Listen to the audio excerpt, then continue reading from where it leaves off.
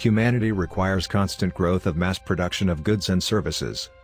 Full-scaled implementation of cyber-physical systems, CPS in production, logistics and urban life will enable us to handle increasingly complex supply chains which provide high-quality products for customers.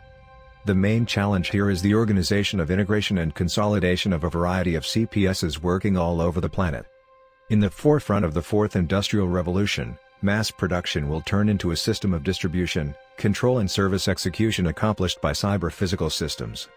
We consider that the most viable way to organize integration of autonomous CPSs on the global scale is to combine them into one network relying on market mechanisms.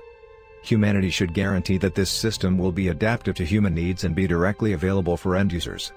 In Airalab we believe that such a system can be created based on peer-to-peer -peer technologies. They will allow us to combine technical and economic parameters of any transaction addressed to a machine. The process of building such a peer-to-peer -peer network can be realized if we base it on the Ethereum infrastructure. If we enhance the capacity of basic communication protocol, we will be able to teach CPSs to interact with different market mechanisms and contract liabilities. Building and developing the platform, which will provide tools for work with the Robonomics network, will allow designers of smart cities and smart factories to build trust to autonomous robot services among the citizens. It will also provide customers direct access to products of autonomous factories and sensor networks of cities.